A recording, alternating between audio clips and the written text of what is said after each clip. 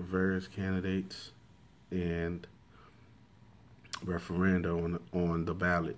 if they are planning to vote by mail in one of the states that allow this, they have to request the ballot, fill it out, and return it. Political parties, candidates, and campaigning can make it make a big difference in persuading voters to vote. Voter mobilization, once an art, has now become a science. In recent years, both parties have developed an extensive database on hundreds of millions of uh, potential voters, allowing the two parties to bring their search for votes, contributions, and campaign help down to name individuals. And campaigns help down to name individuals. In the 2008 and 2012 election, the Democrats made their voter file files available to state parties, and this technology became became one of the keys to their successful mobilization and get out the vote activity those years. Narwhal was the code name for the data platform of the 2012 Obama campaign. Narwhal is the name of a little known type of whale, allowing campaign workers to track voters and volunteers using Amazon services. Obama's technology team employed elite talent from Twitter, Google, Facebook, Craigslist, and Quora, with most staffers in their 30s. The Republicans, too, employed technology to enhance their voter mobilization efforts, codenamed Orca. The Orca whale is the only known killer of the Noel whale.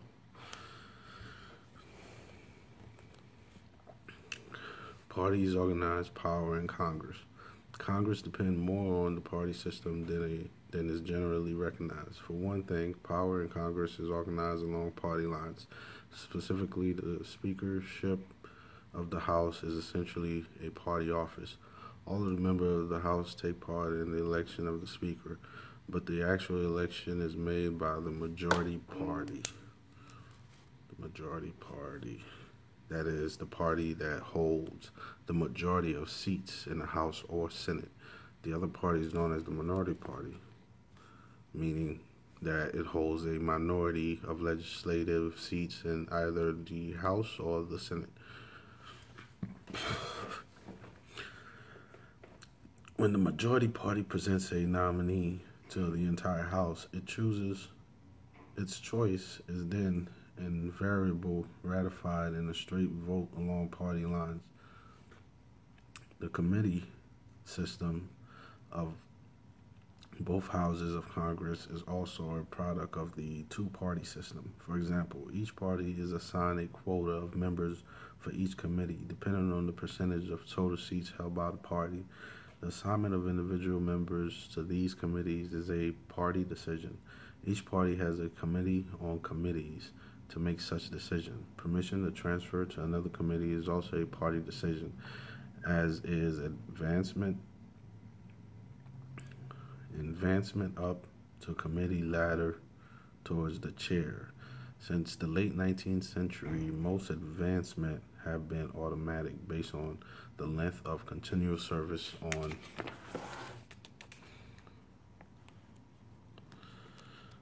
the committee the seniority system has existed only because of the support of the two parties. However, however, and either party can deviate from it. The seniority system has has ex- existed only because of the support of the two parties. However, and either party can deviate from it. That is, pick one, pick someone with less seniority to chair a committee by a simple vote. Presidents need political parties. Strong presidents with broad popular support can depend on party ties to get their legislation enacted in Congress. Yet there has been a trade off in using the party machinery to support the president's legislative agenda and building it to support the party in congressional election. The political scientist Daniel Galvin argue that since the Eisenhower pres- presidency, Republicans have paid much more attention to party building than have Democrats, given their party minority uh, status in the electorate. for much of the past 50 years. Republican presidents have sought to enhance the party's capabilities to mobilize voters and win elections. George W. Bush advisor Karl Rove, Rove hoped to build a strong party apparatus that would ensure a permanent Republican majority.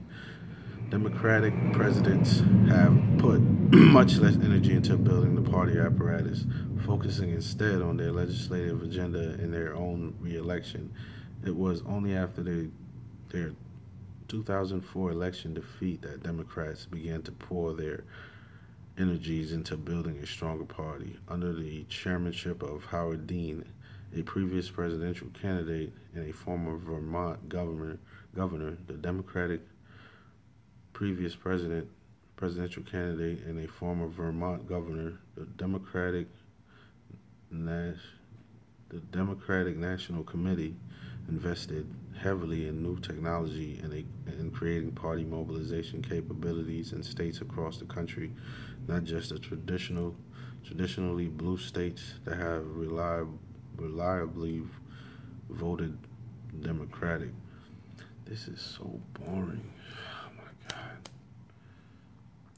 The Obama campaign was able to use this party machinery as a springboard for its own mobilization, mobilizing organization, Obama for America, with detailed information about Democratic Party activists. Obama for America's database became an important political resource for mobilizing Democrats.